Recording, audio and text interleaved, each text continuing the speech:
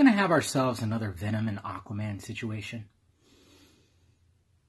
Because this movie's tracking to make about 70 million plus domestically. So it looks like, yet again, or for the first time in 2019, we're going to have a critic and audience split